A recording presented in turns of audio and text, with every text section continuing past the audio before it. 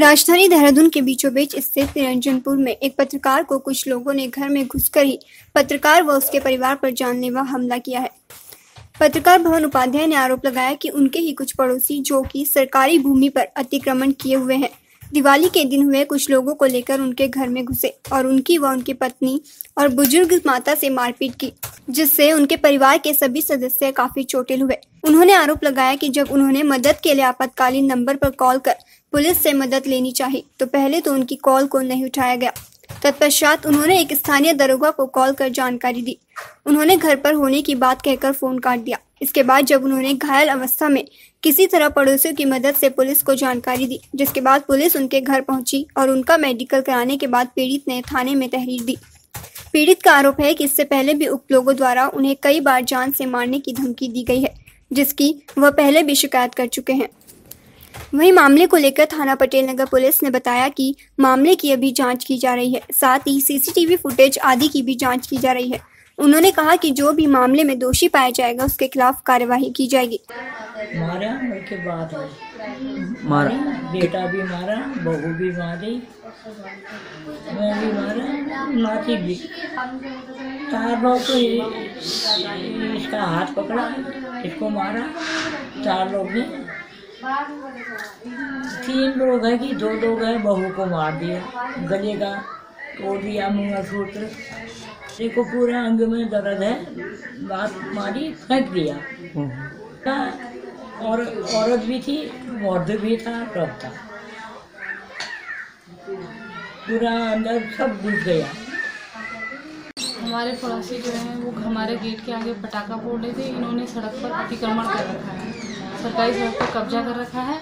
और जिसके कारण जो है ये हमको पीटने आए। क्योंकि मेरे हस्बैंड जो है इस काम में लगे हुए हैं कॉलोनी वालों के साथ। तो इन्होंने क्या किया, हमारे गेट के सामने पटाखे फोड़ रहे थे। हमने बस ये रिक्वेस्ट करी कि यहाँ पर पटाखे मत फोड़ो, हमारी सास जी बूढ़ी हैं, सांस की प्रॉब्लम है उनको और उनको हार्ट की प्रॉब्लम है, बहुत सारी प्रॉब्लम्स हैं, ऐसे करके बोला। लेकिन उसने मुझे गाली गलौज दिया, मुझे परेशान किया और उल्टा सीधा बोला, मेरे को खींचा भी। और सारे जो है, जो अतिक्रमणकारी हैं, सब घर के अंदर घुसे। इन्होंने मुझे मारा। स्वप्निल पंत ने मेरा गले का मंगलसूत्र ही तोड़ दिया और मेरी साड़ी फाड़ दी और मेरे साथ बहुत बदतमीजी करी। जो मधुबन थे उसने मुझे बिल्कुल मेरे दम तक घुटने लग गया था। इतना मुझे मतलब मारा उसने। मेरे पेट में लात मारी, मेरी पीठ में लात मारी, मेरी सास, मेरे पूनम पोखरियाल ने मेरे को मारा। सबने मारा मुझे। मेरे को मारने में तो तीन चार लोग थे। इनको मारने में भी तीन चार लोग थे। मेरी सास जी को मार के गए। और मेरे बच्चों को धक्का देकर मार गए, डाल लेने की कोशिश करी। जानलेवा हमला हुआ है हमारे परिवार पे। हम पुलिस में कंप्लेन करी मैंने और हमने मेरे हस्बैंड ने कंप्लेन करी।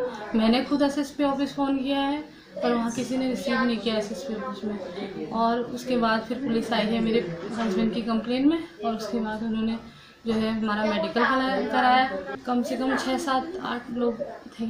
हम नौ, दस लोग होंगे। इन लोगों ने हमारे साथ, मेरे परिवार के साथ बहुत बदतमीजी की मैं चार साल से अपने घर वालों को समझाता था कि इन लोग पढ़े लिखे लोग हैं। वहाँ से चंद्रमोहन पोखरियाल और प्रेमला पंत का परिवार माँ बहन की गाली करते थे। पर उनकी महिलाएँ जो हैं महिला मामलों में, छेड़खानी में, स्लेजिंग में फंसाने की धमकी देते थे। तो मैंने जो है, मेरे ऑफ़िस भी अमरजला में जब नौकरी में था मैं तो उस समय अमरजला में भी ये लोग गए। मेरे को हटाने के लिए कि पत्रकार परेशान करता है। जबकि पीड़ित तो हम थे। क्योंकि हमारे घर का आधा फ्रंट जो है प्रेमुल्ला पंत ने बंद कर दिया था, रैंप डाल दिया था। तो मैंने विरोध किया तो कहने लगे, नहीं नहीं, आपका ही है ये फ्रंट, हम तो खाली सफ़ाई के लिए यहाँ पर कर रहे हैं। इन्होंने मेरे मेरे बच्चों को भी नहीं छोड़ा, मेरे बच्चों को भी बदतमीजी करी। मेरी पत्नी, ना, जिसको मैं, मेरी सहारे जो यहाँ आई, उस उस लड़की को इन्होंने उसको भी मारा। उसको, उसके साथ रोज़ आए दिन लोग बदतमीजी करते थे। मेरी माँ, पिचासी साल की मेरी वृद्ध माँ है, विधवा माँ है। और माँ मेरे से साथ अपने आप को सेफ़ समझती थी। लेकिन मैं बहुत दुखी बहुत सॉफ्ट हूँ कि मैं मैं एक पत्रकार होते अपनी माँ को पीटने से नहीं बचा पाया। अपनी पत्नी को बचाने रोज तो मेरी पत्नी को रोज चाहे चप्पल दिखा रहा है चंद्रमोहन पोखरियाल है? भाजपा का तथाकथित नेता है वो। मैं उसे भाजपा ही नहीं मानता। वो लेकिन खुद को भाजपा ही मान के चल रहा था। गाड़ी में अपने मंडल मंत्री का वो लेके चल रहा है धौस दिखाता है। जहाँ भी जाता है, वहाँ कहता है, मैं भाजपा नेता हूँ। अरे, कौन भाजपा नेता? कौन से। ऐसा भाजपा का संस्कार नहीं हो सकता। मेरी ये राय है। तो मुख्यमंत्री से मेरा सिर्फ़ इतना ही आग्रह है। मैं ये नहीं कह रहा मुख्यमंत्री की गलती है इसमें। मुख्यमंत्री से एक निवेदन है मेरा कि वो जो है मेरे परिवार की सुरक्षा, मेरी माँ कह रही है कि, बेटा अभी पिचासी साल की उम्र में मेरे को मार खा ली। अब मैं कॉलोनी में कैसे घूमूं? कल मेरी माँ कह रही थी मैं कॉलोनी में कैसे जाऊँ? मैं सोचती थी मैं मेरा बेटा बड़ा बड़ा पत्रकार है मुख्यमंत्री कवर करता है। मेरे साथ सेफ़ महसूस कर रही थी मेरे से बड़े तो तीन भाई और हैं हल्द्वानी मैंने कहा भी था ईजा तू तू हल्द्वानी में रह तेरा लोग। वहाँ से घर आए तो देखा कि हमारे गेट में ये प्रेमल्ला पंत का किराएदार जो है नशे में, वहाँ पर बड़ा घटा के फोड़ रहा था। तो उससे इतना ही हमने रिक्वेस्ट करी, हमने कहा, भाई, आप अपने उसमें, अपने इलाके में उधर को अंदर को कर लो बम फोड़ लो मेरी माँ को जो है सांस की प्रॉब्लम है और उसको हार्ट की प्रॉब्लम है। अभी बड़ी मुश्किल से अभी इंद्रेश में भर्ती हुई थी हार्ट की बहुत दिक्कत हो गई थी तो अभी बड़ी मुश्किल से बचा रखी है। तो बोला, साले, तेरे बाप की है क्या सड़क? मतलब मेरे गेट का आगे सड़क हो गई। और जो सड़क प्रेमल्ला पंत ने और चंद्रमोहन पोखरियाल ने मेरे घर के बाद जो उनका घर लगा हुआ है, वहाँ बंद कर रखी है, वो सड़क नहीं उसके लिए जो है, जब सिटी मजिस्ट्रेट से डिक्लेयर हो गया, आदेश हो गया तोड़ने का। मैंने सौ नंबर में फ़ोन किया तो फ़ोन नहीं उठा। कई देर तक करता रहा मैं, दो तीन दो तीन बार करा मैंने। फिर मैंने एक दरोगा को फ़ोन किया, मैं उसका नाम नहीं बता रहा। उसने मुझसे क्या कहा कि मैं घर पहुँच गया और अब जो है आप वहाँ सौ नंबर फ़ोन करो।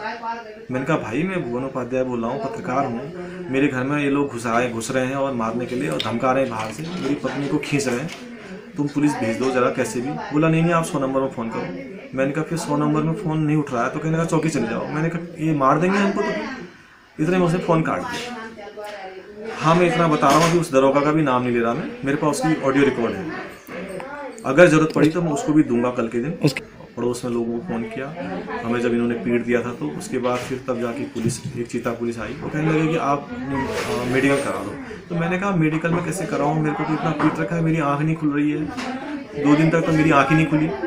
सिर पर भी मार गए थे, मैंने कहा, मुझे चक्कर आ रहा है। तो उसके बाद उसने फिर गाड़ी बुलाई। तो उन्होंने फिर मुझे, हम लोग सब गाड़ी में गए। रात में बारह बजे के बाद वहाँ तहरीर दी। तहरीर देने में भी उस समय मैं आँखें नहीं खुल रही थी मेरी। मैंने इतना ही लिखा कि जानलेवा हमला कर गए क्योंकि रोज आए दिन हमें धमकाते थे, इनके खिलाफ हमारी कम से कम दस पंद्रह तहरीरें पहले से मेरे पास पड़ी हुई हैं। क्योंकि ये रोज कहते थे, हम तुम्हें जान से मार देंगे, यहाँ से निकल लो।